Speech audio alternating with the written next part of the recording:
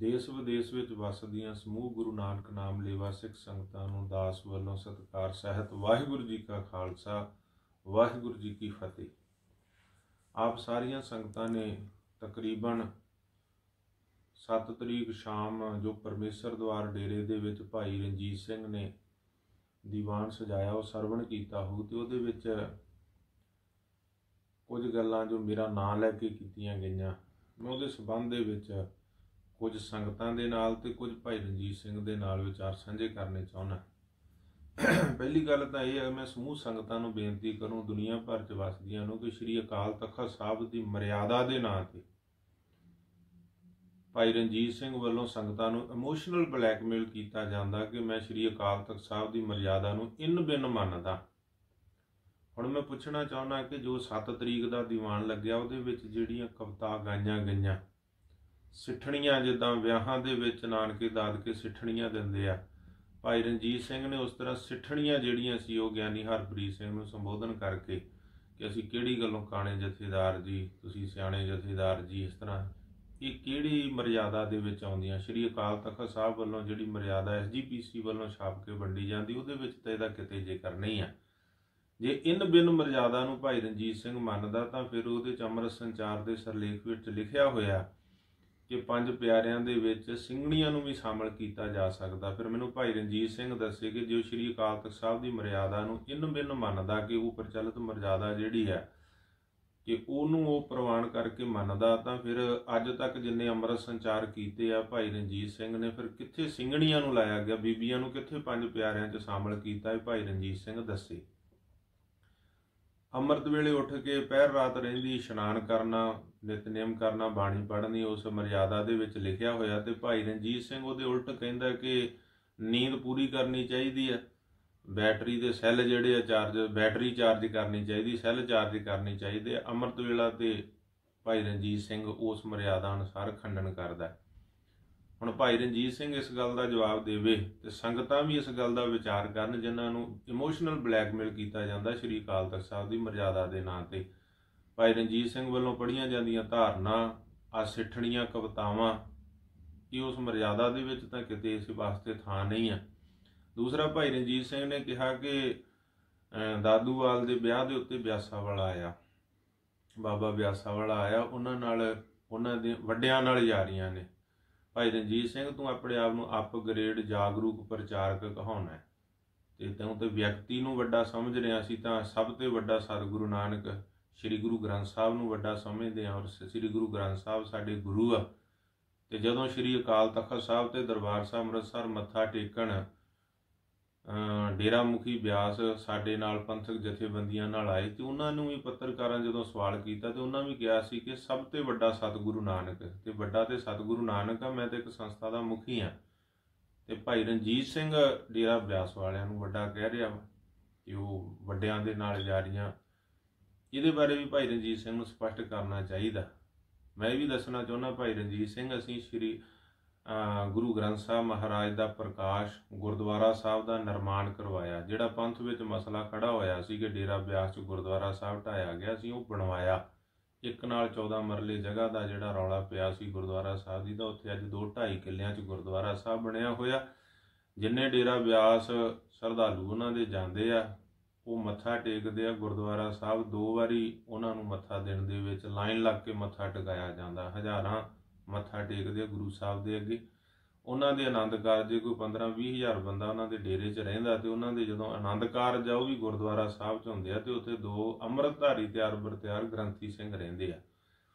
ਉੱਥੇ ਗੁਰਦੁਆਰਾ ਸਾਹਿਬ ਕਦੇ ਕਿਸੇ ਨੂੰ ਭੇਜ ਕੇ ਦਰਸ਼ਨ ਕਰਵਾ ਸਕਦਾ, ਆਪ ਕਰ ਸਕਦਾ, ਗੁਰਦੁਆਰਾ ਸਾਹਿਬ ਦੇ ਦਰਸ਼ਨ। ਕਿ ਗੁਰਦੁਆਰਾ ਸਾਹਿਬ ਅਸੀਂ ਤਾਂ ਬਣਵਾਇਆ। ਬਾਕੀ ਵਿਆਹ ਦੇ ਤਾਂ ਤੈਨੂੰ ਵੀ ਸੱਦਾ ਪੱਤਰ ਦਿੱਤਾ ਗਿਆ ਸੀਗਾ। ਤੂੰ ਵਿਆਹ ਤੇ ਨਹੀਂ ਆਇਆ।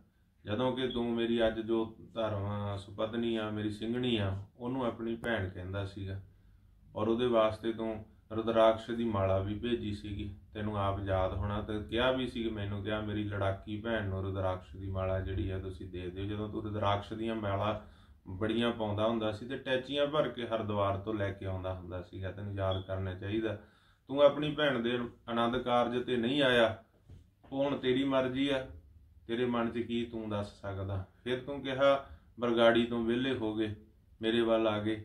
ਬਰਗਾੜੀ ਦਾ ਤੂੰ ਜ਼ਿਕਰ ਕਰਦਾ, ਮੈਂ ਦੱਸਣਾ ਚਾਹੁੰਦਾ ਕਿ ਬਰਗਾੜੀ ਤੁਸੀਂ ਦੋ ਮਰਵਾ ਕੇ ਆਏ ਸੀਗੇ। ਅਸੀਂ ਉੱਥੇ ਕੁਝ ਇਨਸਾਫ ਦਵਾਇਆ, ਪਰਿਵਾਰਾਂ ਨੂੰ ਵੀ, ਸ਼ਹੀਦ ਸਿੰਘਾਂ ਨੂੰ ਵੀ, ਕਿ ਉਹਨਾਂ ਦੇ ਜਿਹੜੇ ਦੋਸ਼ੀ ਜਿਨ੍ਹਾਂ ਗੋਲੀਆਂ ਮਾਰੀਆਂ, ਉਹਨਾਂ ਤੇ 22 ਨੇਮ ਮੁਕੱਦਮਾ ਦਰਜ ਹੋਇਆ। ਉਹਨਾਂ ਸ਼ਹੀਦਾਂ ਦੇ ਤੁਸੀਂ ਭਗੌੜੇ ਆ। ਬਰਗਾੜੀ ਕੋਟਕਪੂਰਾ ਬਾਈਬਲ ਦੇ ਤੁਸੀਂ ਭਗੌੜੇ ਆ। ਅਸੀਂ ਤਾਂ ਕੁਝ ਉੱਥੇ ਬੈਠ ਕੇ ਇਨਸਾਫ ਹੀ ਦਵਾਇਆ।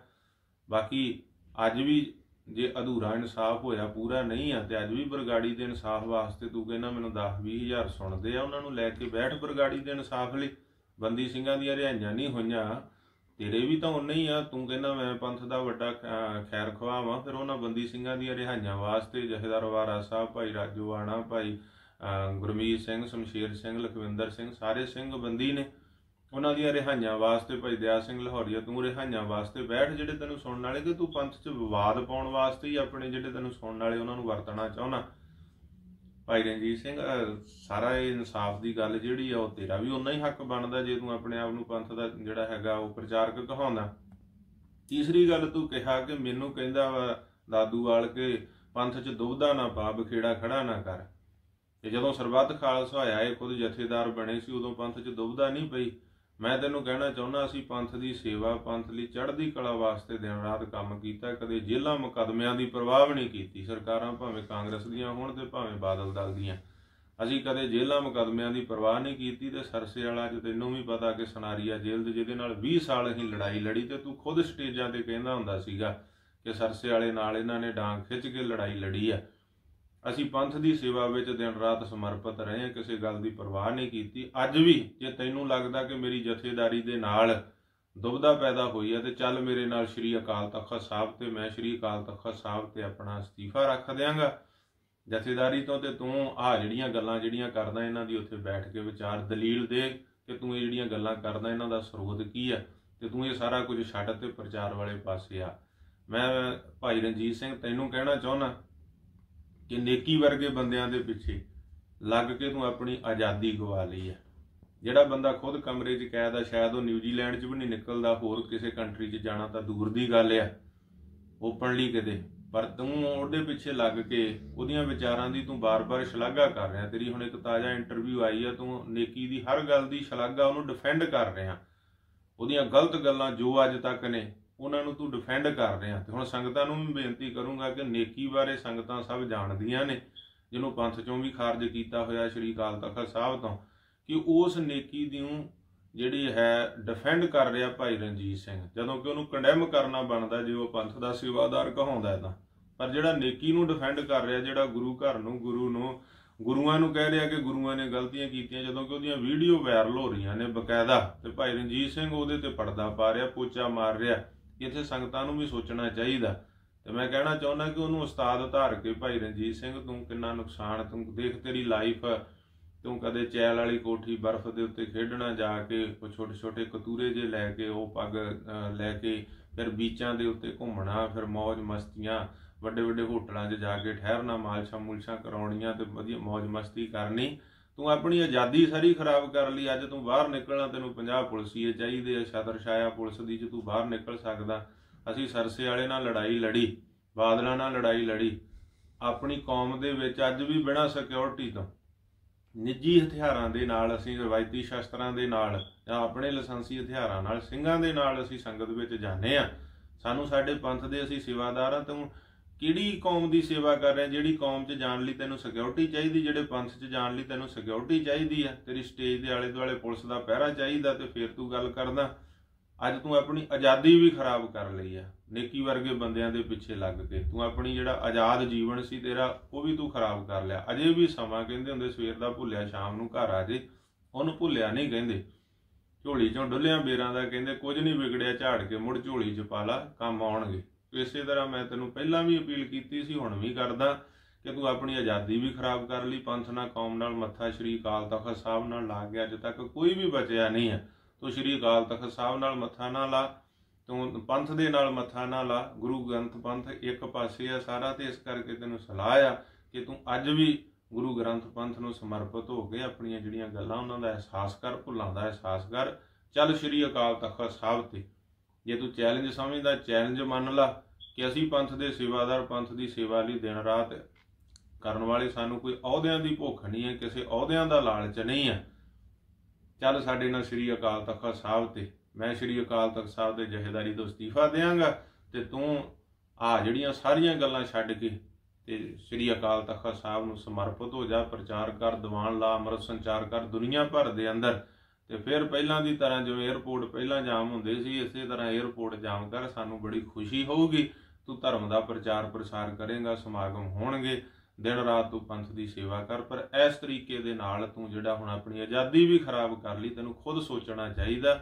ਜ਼ਰੂਰੀ ਨਹੀਂ ਕਿ ਜਿਸ ਲਾਈਨ ਤੇ ਤੂੰ ਚੱਲ ਪਿਆ ਕਿ ਹੁਣ ਤੈਨੂੰ ਪਛਾਣ ਮੁੜਨਾ ਜਿਹੜਾ ਹੈਗਾ ਉਹ ਔਖਾ ਲੱਗਦਾ। ਨਹੀਂ, ਤੂੰ ਪਛਾਣ ਮੁੜ ਸਕਦਾ। ਗੁਰੂ ਗ੍ਰੰਥ ਪੰਥ ਦੀ ਸ਼ਰਨ, ਗੁਰੂ ਦੀ ਸ਼ਰਨ ਤੇ ਸਤਿਗੁਰੂ ਵੀ ਕਹਿੰਦੇ, ਜੋ ਸ਼ਰਨ ਆਵੇ ਤੇ ਕੰਠ ਲਾਵੇ, ਇਹ ਬਿਰਧ ਸੁਆਮੀ ਸੰਦਾ ਗੁਰੂ ਗ੍ਰੰਥ ਪੰਥ ਦੀ ਜਿਹੜਾ ਸ਼ਰਨ ਆਉਂਦਾ ਤੇ ਸਤਿਗੁਰ ਸੱਚੇ ਪਾਤਸ਼ਾਹ ਨੂੰ ਕੰਠ ਨਾਲ ਲਾਉਂਦੇ ਆ। ਸ੍ਰੀ ਅਕਾਲ ਤਖਤ ਸਾਹਿਬ ਨੂੰ ਸਮਰਪਿਤ ਹੋ ਤੇ ਆ ਜਿਹੜੀਆਂ ਗੱਲਾਂ ਨੇ, ਐਵੇਂ ਮਿਹਣੇ ਸਿੱਠਣੀਆਂ ਵਾਲੀਆਂ ਗੱਲਾਂ ਇਹਨਾਂ ਨੂੰ ਛੱਡ ਕੇ ਤੇ ਐਵੇਂ ਨੇਕੀ ਵਰਗੇ ਬੰਦੇ ਜਿਹੜੇ ਆ, ਉਹਨਾਂ ਦੇ ਪਿੱਛੇ ਜਿਹੜੇ ਸਾਰਾ ਦਿਨ ਗਾਂਧੀ ਬੋਲਦੇ ਰਹਿੰਦੇ ਆ, ਉਹਦੀ ਬੋਲਬਾਣੀ ਤੁਸੀਂ ਹੁਣ ਦੇਖ ਲਓ, ਸਾਰਾ ਦਿਨ ਹੀ ਉਹ ਕੀ ਕਰਦਾ ਰਹਿੰਦਾ, ਚਲੋ ਹੋਇਆ ਕਿਤੇ, ਕੋਈ ਗੱਲ ਕਿਸੇ ਨਾਲ ਹੋਈ, ਪਰ ਉਹ 24 ਘੰਟੇ ਹੀ ਉਹ ਜਿਹੜੇ ਪਹਿਲਾਂ, ਜਿਨ੍ਹਾਂ ਦਾ ਉਹ ਪਹਿਲਾਂ ਨਹੀਂ ਬਣਿਆ, ਪਹਿਲਾਂ ਉਹ ਪੰਥ ਪ੍ਰੀਤ ਧੁੰਦਾ, ਮਾਝੀ, ਉਹਨਾਂ ਦੇ ਗੁਣ ਗਾਉਂਦਾ ਹੁੰਦਾ ਸੀ, ਅੱਜ ਉਹਨਾਂ ਨੂੰ ਸੌ ਸੌ ਮਨ ਦੀਆਂ ਗਾਲਾਂ ਕੱਢਦਾ ਵਾ, ਤੇ ਅੱਜ ਤੇਰੀ ਤਾਰੀਫ ਕਰਦਾ ਕੱਲ ਨੂੰ ਉਹਨੇ ਤੈਨੂੰ ਵੀ ਗਾਲਾਂ ਕੱਢਣੀਆਂ ਨੇ। ਇਸ ਕਰਕੇ ਉਹਦੇ ਪਿੱਛੇ ਲੱਗ ਕੇ ਤੂੰ ਆਪਣਾ ਜਿਹੜਾ ਹੈ ਗੁਰੂ ਗ੍ਰੰਥ ਪੰਥ ਨਾਲ ਦੁਸ਼ਮਣੀ ਨਾ ਪਾ, ਅਕਾਲ ਤਖਤ ਸਾਹਿਬ ਨਾਲ ਮੱਥਾ ਨਾ ਲਾ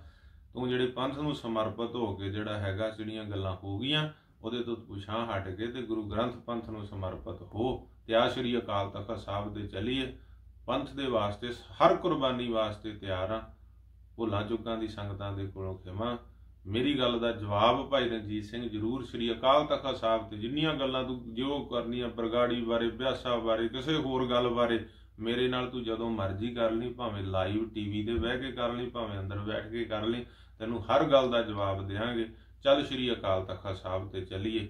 ਸੰਗਤਾਂ ਕੋਲੋਂ ਭੁੱਲ ਚੁੱਕ ਦੀ ਖਿਮਾ। ਵਾਹਿਗੁਰੂ ਜੀ ਕਾ ਖਾਲਸਾ, ਵਾਹਿਗੁਰੂ ਜੀ ਕੀ ਫਤਿਹ।